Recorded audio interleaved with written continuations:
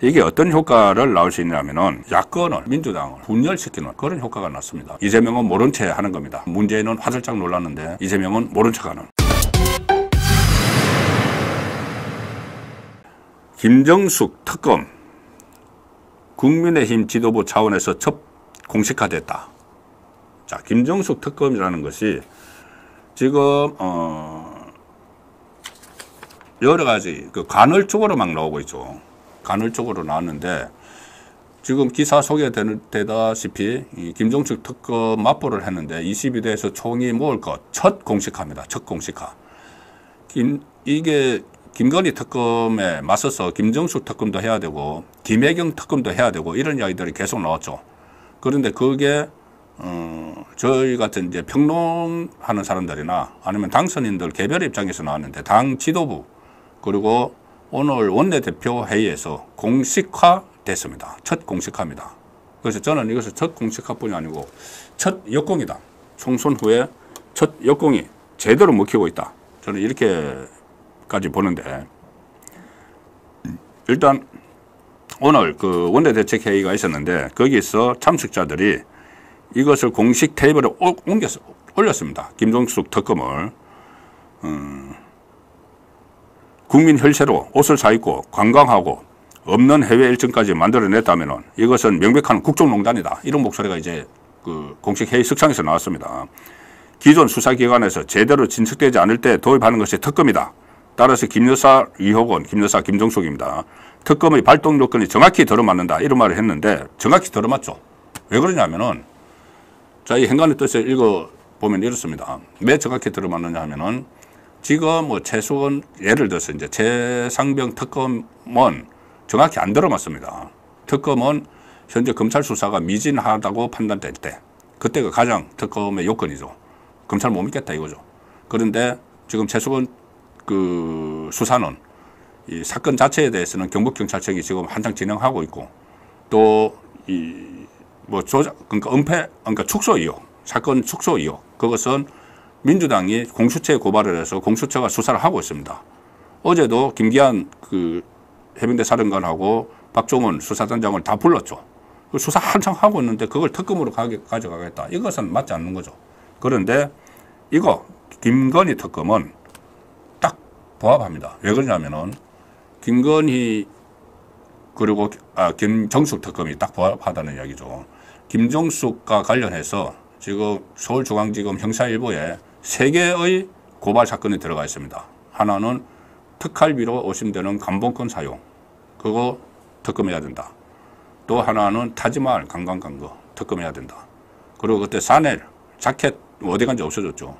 그것도 수천만 원짜리일 텐데 뭐 김건희 디올백은 디올 파우치는 300만 원인데 그거는 이 샤넬 자켓에서 뭐 수천만 원 하겠죠. 그 세 가지가 형, 그 서울중앙지검 형사 일부에 가 있는데 그 아래 같이 가 있었던 것이 김건희 디올 파우치였습니다. 근데 이원석 검찰총장이 지시를 해서 딱 그것만 뺐죠. 그 디올 파우치만. 그래서 전담팀을 만들고 수사를 지금 진행을 하고 있습니다. 김종숙 그 세계는 검찰에서 아무 일도 안 하고 있는 거죠. 서울중앙지검에서. 이제 중앙지검장이 바뀌었기 때문에 어떻게 될지 모르지만은 그 전에 송경호 지검장은 아무것도 안 했습니다. 그러니까 이것은 특검 요건에 딱 부합이 된다. 이 이야기가 나오는 겁니다. 물론 이 특검을 추진을 해도 사실 처리할 처리 통과될 가능성은 없습니다. 가반수가 이사제 특검이 통과, 가 됐는데 108명이죠. 300명 중에서 108명이니까 특, 통과가 안 되는데 이게 어떤 효과를 나올 수 있냐면은 이 야권을 민주당을 분열시키는 그런 효과가 났습니다. 왜냐하면은 지금 김정숙 특검 이렇게 막 국민의힘이 공식 논의 테이블에 올렸는데 민주당 주류 쪽, 주류 쪽에서는 아무런 반응을 안 보이고 있습니다. 민주당의 그러니까 지도부 쪽에서는 반응을 보이지 않고 어, 그냥 외면을 하고 있습니다. 반면에 이제 김정숙이니까는 문재인의 배우자니까 친문, 친문계의 뭐, 진, 그, 진성준이나 뭐, 고민정 이런 사람들이 나와서 산발적으로 이야기하는 거지 이재명은 말도 안 하고 있습니다. 왜 말을 안 하느냐? 지금 삼김여사 특검 이야기가 나오죠. 삼김여사. 그래 김건희 하면은 김정수, 김혜경, 다자. 이 김민정 어, 대변 아니, 당선인이 지금 대변인 맞습니다. 대변인이 이야기를 처음 했죠. 대변인 되기 전에. 근데 그 이야기는 실제로 계속 저희들 뭐 댓글에도 계속 나오고 있는 그런 이야기고 그 상황이기 때문에 만약에 김정숙 그 특검에 대해서 이재명이 거기에 대해서 말을 얹으면은 이게 커집니다. 상김 여사 특, 특검 자체가 막 논란에 대해서 핵심 쟁점이 되어버리죠. 그러면 김혜경은 따라서 딸려나가게 되죠. 김혜경 특검 이것도 이슈로 부각이 돼버리니까 이재명은 모른 채 하는 겁니다. 국민의힘에서 김정숙 특검하자. 그러니까는 문재인은 화들짝 놀랐는데 이재명은 모른 척하는 자 그런 상황이 전개가 되고 있으니 이것이 그러면 어떻게 되냐면은 앞으로 이재명이 김건희 특검 이야기도 함부로 못합니다. 지금 이재명은 지난번 대선 때부터 음, 대선 전국에서도 그렇고 그 이후에도 그렇고 지금도 그렇고 본인이 위기에 몰릴 때마다 사법적 위기에 몰릴 때마다 맞불을 놓으면서 외쳤던 게 김건희 특검이죠. 지금 2년 이상 김건희 특검, 김건희 특검 입에 달고 삽니다. 자기가 위기에 빠질 때마다. 그런데 어, 지금은 앞으로 이제 김건희 특검을 이야기하면은 김정숙 특검, 그 다음에 김혜경 특검까지 다 나오기 때문에 그렇게 외치기가 어려워진, 어려워진 어, 그런 어, 그래서 제가 제대로 먹혔다 역공이 그 말씀을 드리는 겁니다.